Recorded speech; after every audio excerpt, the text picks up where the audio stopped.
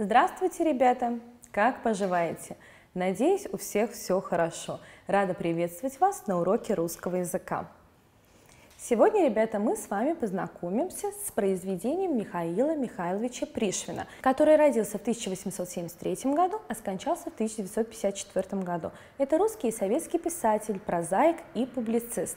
Откройте, пожалуйста, учебники на страничке 188. Мы познакомимся с произведением Пришвина «Лесной доктор». Мы бродили весной в лесу и наблюдали жизнь дуплиных птиц. Дятлов, сов, Вдруг в той стороне, где у нас раньше было намечено интересное дерево, мы услышали звук пилы. То было, как нам говорили, заготовка дров из сухостоя, леса для стеклянного завода. Мы побоялись за наше дерево, поспешили на звук пилы, но было уже поздно. Наша осина лежала, и вокруг ее пня было множество пустых еловых шишек. Это все дятел отшелушил за долгую зиму – собирал, носил на эту осинку, закладывал между двумя суками своей мастерской и долбил. Около пня на срезанной нашей осине два паренька отдыхали. Эти два паренька только и занимались тем, что пилили лес. «Эх вы проказники!» – сказали мы и указали им на срезанную осину. «Вам велено резать сухостойные деревья, а вы что сделали?» «Дятел дырки наделал», – ответили ребята. Мы поглядели и, конечно, спилили, все равно пропадет. Стали все вместе осматривать дерево. Оно было совсем свежее, и только на небольшом пространстве, не более метра в длину внутри ствола, прошел червяк. Дятел, очевидно, высушил осину, как доктор, выстукал ее своим клювом, понял пустоту, оставляемую червем, и приступил к операции извлечения червя. И второй раз, и третий, и четвертый. Не толстый ствол осины походил на свирель с клапанами. Семь дырок сделал хирург и только на восьмой захватил червяка, вытащил и спас осину. Мы вырезали этот кусок как замечательный экспонат для музея. «Видите?» – сказали мы ребятам. «Дятел – это лесной доктор, он спас осину. Она бы жила и жила, а вы ее срезали». Пареньки подивились. В этом произведении у нас есть незнакомые слова. Во-первых, дупляной – это живущий в дупле. Например, какие птицы были указаны? Дятел, совы. Далее, дупло, ребята, это пустота в стволе дерева. Как указано на картинке, обратите внимание. Далее, сухостой – это засохшие на корню деревья. Экспонат, ребята, это предмет, выставленный на выставке в музее. Итак, мои хорошие, переходим к грамматической части нашего урока. Давайте-ка с вами вспомним, что мы изучили на прошлом уроке. Правильно, мы с вами говорили о предлогах. Итак, предлог это что? Верно, это часть речи. Слова к, у, с, в, о, об, над, на, по, под, до, из, без, от, за, для, около и так далее. Это все предлоги. Предлоги служат для связи слов предложения. Например, сидит за партой, рисует в альбоме, беседует с товарищем. Вы, ребята, наверняка заметили, что предлоги со словами пишутся раздельно, всегда.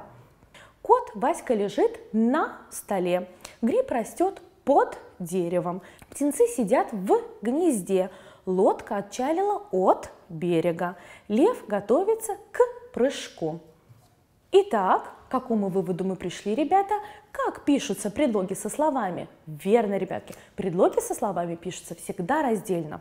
На страничке 189 нашего учебника есть правила, которые вы должны обязательно запомнить. Предлоги со словами пишутся раздельно. Это орфограмма. Предлоги употребляются с именами существительными по тропинке, за горами, около дома. Перед глаголами предлогов, ребята, никогда не бывает. Запомните это обязательно. Ну а мы с вами выполним упражнение на страничке 189, третье. Отгадайте загадку, напишите загадку по памяти и подчеркните предлоги. В пестрой одежонке, в красненькой шапочке по лесу летает, в барабан играет. Кто это, ребята? Верно, это дятел. Где же наши предлоги? Правильно, в, далее, верно, в, далее, правильно, по и в.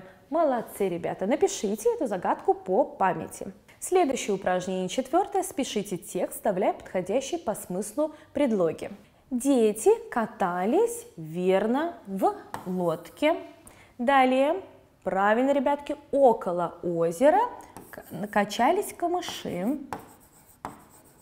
Около. Далее, водой летали чайки и стрижи. Правильно, над водой. Далее, белка плыла правильно по озеру. Она выбилась, верно, ребятки, из сил. Дети помогли маленькому зверьку, белка села на край весла. Вот и берег, молодцы. Следующее упражнение, пятое. Составьте из данных слов предложение и напишите. Яблоня зацвела, саду В. Что у нас получится? В саду зацвела яблоня. Далее, цветы яблони похожи на белые облака. Скоро на ней появятся сочные плоды. Далее, ребятки, у нас задание. Подчеркните предлоги и слова, с которыми они употреблены. Правильно, в саду. Далее, ребята, правильно, на белые. И верно, на ней.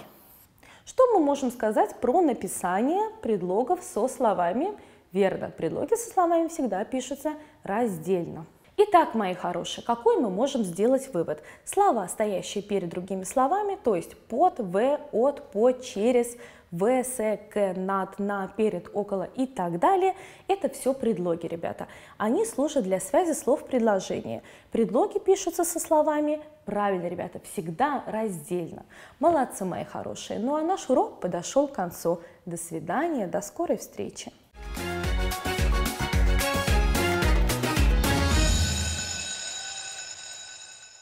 Здравствуйте, дорогие ребята! Я рада вновь приветствовать вас на уроке математики. Тема нашего сегодняшнего урока будут снова часы. Сегодня мы будем с вами работать в нашем учебнике на страничке 63-64. Давайте выполним с вами задание номер 3 на странице 63. Но для начала давайте ознакомимся с данной информацией. Когда минутная стрелка находится между 12 и 6 говорят, например, 5 минут 10. Итак, давайте посмотрим. Наша стрелочка двигается, начиная от 12 до 6. Если она находится у цифры 1, мы говорим 5 минут. У цифры 2 – 10 минут. У цифры 3 – 15 минут. У цифры 4 – 20 минут у цифры 5 25 минут. Ну, а когда она находится у 6, вы уже знаете, это половина. Значит, каждый раз прибавляется у нас по 5 минут. Который час? Давайте посмотрим внимательно. Итак, минутная стрелка у нас находится у цифры 1, а часовая у 8. 5 минут 9 то есть уже было 8, проходит 5 минут к 9. 5 минут 9. Посмотрим на эти часы. Минутная стрелка у нас у цифры 2. А часовая отошла от 11, между 11 и 12. 10 минут 12. Посмотрим эти часы. Минутная стрелка у цифры 3. Это означает 15 минут, а часовая находится между цифрами 5 и 6, значит 15 минут шестого. Здесь у нас часовая стрелка находится между цифрами 1 и 2, а минутная на цифре 4. Это означает 20 минут второго. Здесь у нас минутная стрелка на цифре 5 а часовая между 10 и 11. Значит, 25 минут 11. Теперь рассмотрим задание номер 4 на странице 64. Но ознакомимся вначале с информацией. Когда минутная стрелка находится между 6 и 12, тогда мы используем предлог «без». Например, «без 5 минут назад» то есть без пяти три. Еще не хватает пяти минут, без пяти минут.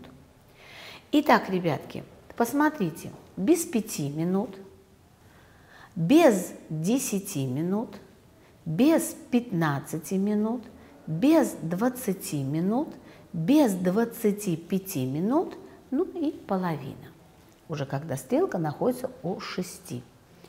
Итак, какое время показывают часы? Посмотрите, ребятки, 5, 10, 15, значит без 15 – 5. Часовая стрелка ближе к пятерке, но она находится между цифрами 5 и 4. Значит, без 15 – 5. Просмотрим эти часы. У нас минутная стрелка находится на 11. Значит, без 5, все верно, 7. Посмотрите-ка, без 10, 5, еще 5, 10, без 10 час. 5, 10, 15, 20, 25, то есть без 25 8. Посмотрите на эти часы внимательно. 5, 10, 15, 20, без 20 час. Выполним задание номер 5 на странице 64. Назовите соответствующее время для каждых часов. Итак, у нас первые часы, у нас показано на часах, посмотрите внимательно, 5, 10, 15, 20, без 24. Сколько будет через 5 минут? То есть стрелочка наша на 5 минут пойдет вперед. И это будет уже без 15, 4. Через 10 минут. Итак, еще 5 и 5 будет, все верно, без 10, 4. 5 минут назад. Значит, стрелочка у нас назад, если пойдет на 5 минут, то это будет все правильно, ребятки. Минутная стрелка будет на 7, это значит 5, 10, 15, 20, 25, без 25, 4. 10 минут назад. То есть мы минутную стрелку должны повернуть на 10 минут назад. 5, еще 5, 10 будет на 6, значит половина четвертого. Рассмотрим вторые часы. Итак, у нас минутная стрелка находится между 12 и 6, значит мы говорим 10 минут. Уже не используем предлог без. Мы используем э, предлог без только тогда, когда наша минутная стрелка находится между 6 и 12. А когда между 12 и 6, то мы не используем предлог без.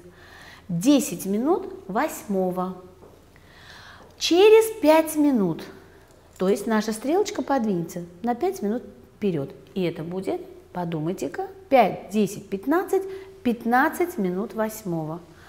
Какое время покажут часы через 10 минут? Итак, 10 минут сейчас показывают, еще 10, 5, 15, еще 10, 20, 20 минут восьмого.